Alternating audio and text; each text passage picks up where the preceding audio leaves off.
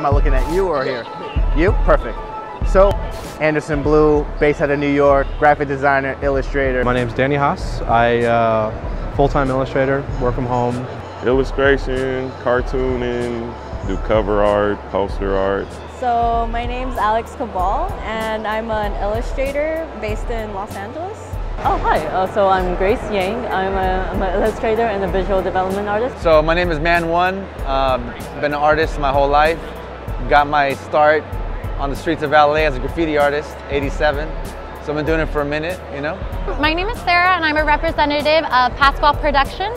Geoff Pascual is the artist. He's a self-taught watercolorist. So my name is Terry Huddleston. I do pop art and pinup art, as you can see. Pretty much in a nutshell, what I do is I take my favorite sneakers, mix it with pop culture, and I bring it to life.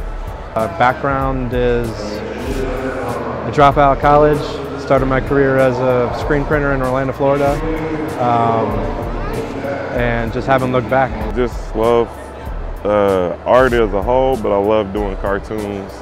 So I basically draw most of my stuff as if it were a cartoon. So anything I draw is like, if you want to see like maybe a Richard Pryor, I draw him like a cartoon angle. I like to do portraits um, and I like to specifically draw women of color and like just add um, florals or plants and flowers to kind of like bring it life. And I like using um, contrasting bright colors uh, to like accentuate like dark skin. I like to do concept art uh, for games maybe. Yeah, that's like my, my goals. I produce murals all over the world uh, for, for public, you know, public murals, public art, whether it's for a city or organization. I also do a lot of corporate commission type of work for big brands, things like that. Um, but also sell my art and I do paintings, original paintings, commission work on canvas. I exhibit in museums and galleries. Obviously I do merch. So I kind of do like the whole, the whole thing, you know? Like I don't just stick to one lane. I like to like be a commercial artist as well as a fine artist, you know? Uh, I got my original series here of characters that uh, me and my wife came up with that uh, we're trying to do something different with. Uh, does all kinds of mixed media right now, playing with collaging and things, and he does most of his favorite shows and characters that he grew up with. I personally think it was just my influence of watching too much cartoons as a kid, a lot of Looney Tunes, a lot of Disney. You know, the first thing I learned how to draw was Garfield. So that's the reason why you see such bold lines, such a bold colors. It's just from the stuff that I grew up on as a kid. And I kind of took what I like, I left what I didn't like, I just made this blend into what you see today. Honestly, it has to be being from New York. Um, I'm a former basketball player, so sneakers is just in the culture. You know, growing up, I wanted to be like Mike, so I was definitely in that target market. And honestly, growing up, I thought if I had the Jordan sneakers, I'll play better. And yeah, I think that's what started my whole love for sneaker culture. The long stem love of Star Wars, and then coming into the Clone Wars, and you know, really digging uh, her, you know, uh, partnership with Anakin, being his Padawan, watching how they grew together, uh, her separation from the Jedi Order. It's just, she's a well-written character. I loved her power. I loved her story in the Clone Wars. Loved her partnership with Anakin, being his Padawan, and uh, how they have progressed her through the years and uh, her separation from the Jedi Order. And she's such a powerful female figure in the Star Wars universe, and I was really drawn to her for that. Pop culture from a bird's eye view. So okay. I just take a bunch of stuff we grew up with, movies and cool stuff, and just flip it in a way where it's more catered to stuff you don't see. You know, uh, it's stuff I want to see. So maybe you walk the cons and you might not see different aspects of maybe black characters or just ethnic or whatever I thought was cool, that's what I started with. And then they just expanded into whatever and I started remixing certain stuff and where it goes. Like empowered, strong, confident. Um, yeah, just just like like kind of like female empowerment too. I always like get inspiration from life first. So like when I see like a girl on the street wearing something cool or fashion magazines, and then I sketch it out, um, and then I just like go from there like digitally. So I draw everything on Photoshop. yeah, so from start to finish. Slice of life scenes um, when you could just kind of see a character in a moment in time. So that's the kind of scenes I do like to draw. I think like when I was a kid, I liked drawing like Disney characters and anime characters because I was really into like anime and comics, especially Sailor Moon. So that's kind of I guess where it like started from, like especially because it's all women too, and um, it just like grew from there. So. Uh, I've been drawing pretty much my whole life, but the Ninja Turtles, I was like, I was a big fan of Ninja Turtles when they came out. I drew a ton of Ninja Turtles and Venom. And Venom. Those two things. I drew a lot of those when I was a kid. Yeah. My artwork gears towards being very kid friendly, um, and uh, but also like a little dark. And uh, I like to. I, what I like to do is I like to take stuff that's not necessarily for kids, like you know something like a movie like Pulp Fiction, make it kid friendly. I started off on the streets, 16 years old, um, just tagging on the buses in LA, the RTD.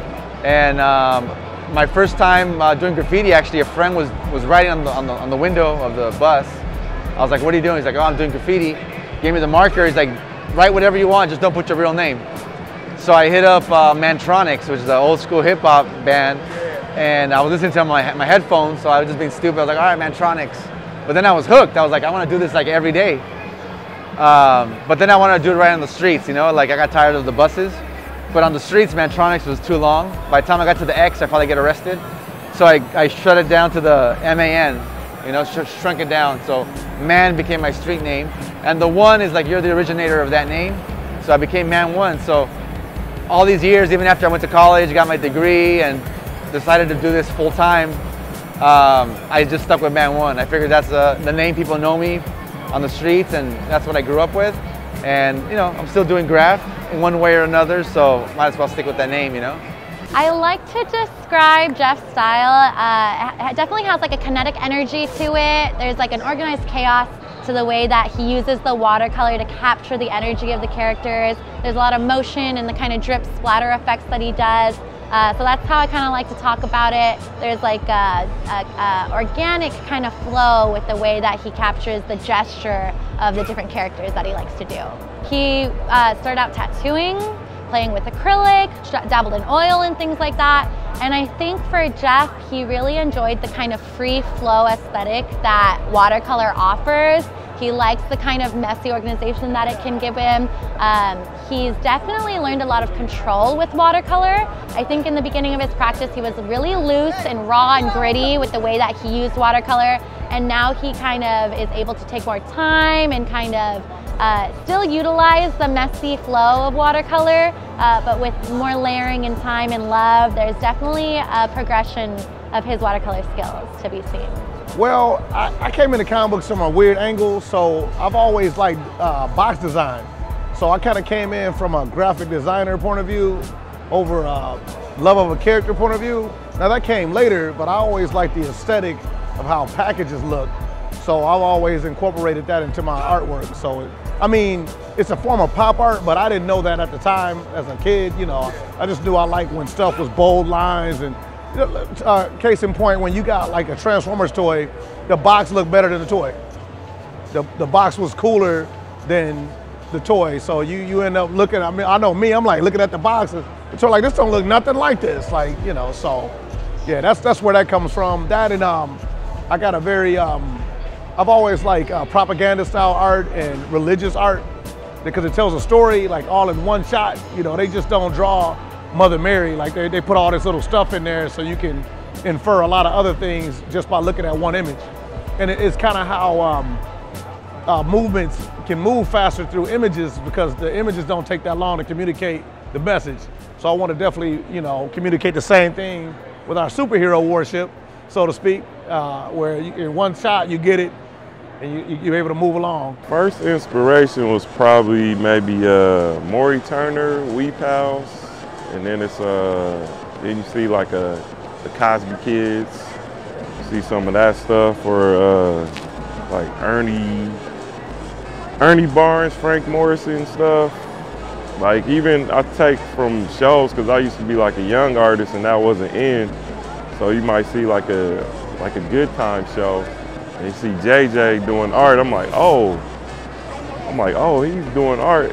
It wasn't his art, but it was just like seeing little stuff like that, and you take from it, and that that was a lot of inspiration because, like, Wee Pals was basically in the newspapers, and it was black and white, and you used to just see it, and you're like, oh, it's you can see yourself in that, and then you take the Stan Lees.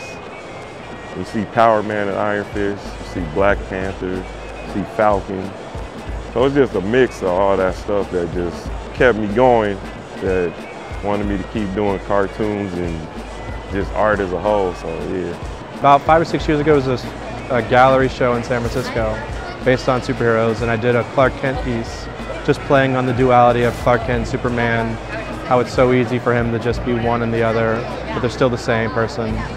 Um, then it kind of just spiraled into a series of telling the stories of the dualities of the character, or the good and the bad, stuff like that. So yeah, it was just kind of a big snowball effect after that.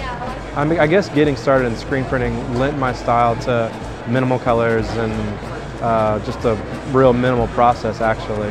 Uh, so it's real minimalist, uh, a lot of pop culture references and stuff like that. So that's what I'm into. It was more like kind of a therapeutic thing for me because I always struggled with my own like self-identity with especially with my skin. So to kind of like help boost my self-esteem, I wanted to draw like really cool like dark skinned girls and like to kind of like I wanted to draw them with confidence to kind of give myself confidence. Do you get my yeah, so like it was kind of like to inspire me to like be confident in myself. Well, I think for me it's the spontaneity of it, you know? Like yesterday I showed up to paint this piece I didn't know what I was gonna do. I have a sketch. I just started freestyling and I just knew I wanted to do something for Stan Lee, just do a, a rest in peace kind of commemorative piece, you know? And in graffiti has done a lot, you know? Um, when someone passes away that you respect, you put them up on the walls. So that's kind of what I wanted to do here at DCon. So I did the, the Stan piece behind me. Um, and the thing about it is when you're painting live, people are like mesmerized, you know, like, because they're just like, how does it go from a blank wall to a full finished piece, you know, because most people see graffiti after it's done. It's done. And so when they see them actually being produced and being created in front of their eyes, people really like it, you know. You're not thinking of anything else. It's like you're just totally zoned in on what you're doing, and um, it's not complicated or, or or tasky. It's just like it's pure enjoyment, you know. So it's like being able to you know do a line, be like, oh, that's cool. That doesn't work. I'll do it this way, and and it's just kind of a, a way to work things out in your mind. And um, I mean, that's what I love about graph is that there's no wrong way to do it. You know, as long as you're having fun and you're creating, you're expressing yourself. That's exactly what graph is about. You know.